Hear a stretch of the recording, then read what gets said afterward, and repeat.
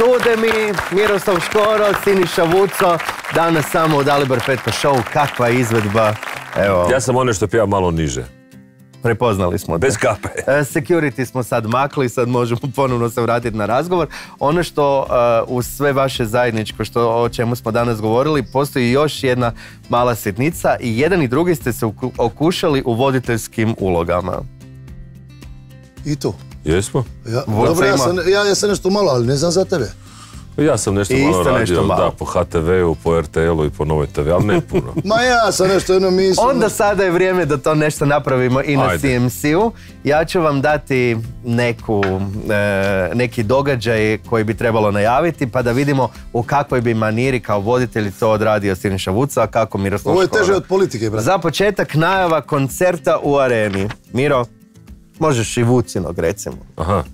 Cijenjeni gledatelji, evo u sljedećim trenucima malo ćemo zaklamirati jedan glazbeni događaj koji će plijeniti javnost u Hrvatskoj, pa ja bih rekao i šire, sljedećih nekoliko dana, tjedana i mjeseci. To je veliki koncert Siniše Vuce u Zagrebačkoj areni, gdje ćemo biti gosti Axel Rose, naravno Richie Sambora i ako Bog da, sam Bon Jovi. E, evo ovdje je s nama i gospodin Vuco, koji će nekoliko riječi reći o svom koncertu u areni. Izvolite, gospodin Vuco. Hvala vam najljepša. Evo.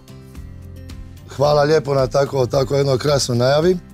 Da li ja mogu uz odgovor da najavim i gospodinu? Apsolutno. Znati To možeš i konkretno s datumom. Znači, dragi gledatelji, postoji nešto.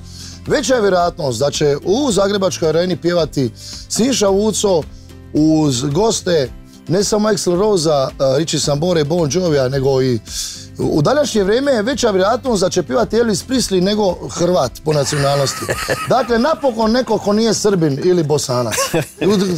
Hvala lijepo gospodine Hrvatu Miroslav Škoro. Mislim da je to velika prepreka u Zagrebu, ali uz jedan dobar trud marketing mislim da vam je otegotna okolnost, otežavajuća to što ste Hrvat i to mislim či- čisto, jeste čisto, da.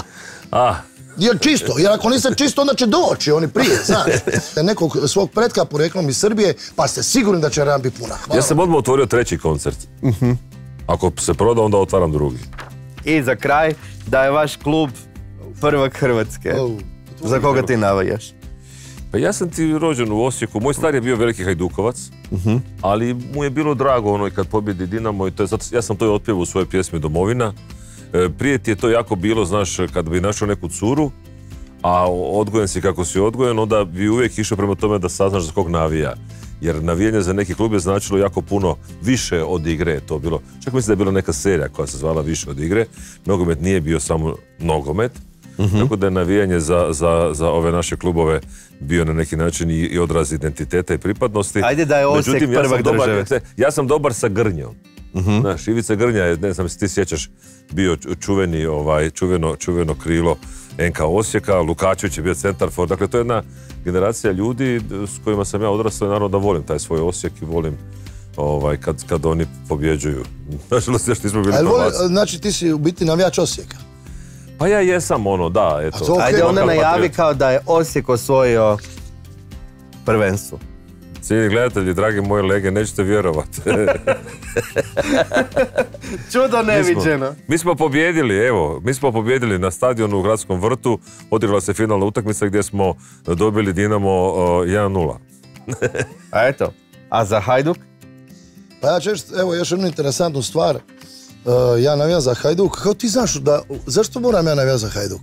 Pa mislim, to govoriš toliko puta da... Pa dobro, da najavim, dragi ljudi, 2025. godina, 20 godina čekamo titulu, prošle godine nismo željeli uzeti, zato jer je na 19, pustili smo Rijeci Dinamo nek se kolju, a sada 20. godina, 20, titula na okruglo, dođite, proslavite u Split, Dođite u Dalmaciju, jer to je legendarno. U Dalmaciji ljudi dobro žive, niko ne radi ništa. To je cilj života na zemlji. Hvala vam lijepo. Samo Hajduk živi vječno, heavy metal još duže. Ali, To mi reci. Miroslav Škoro je bio naš današnji gost.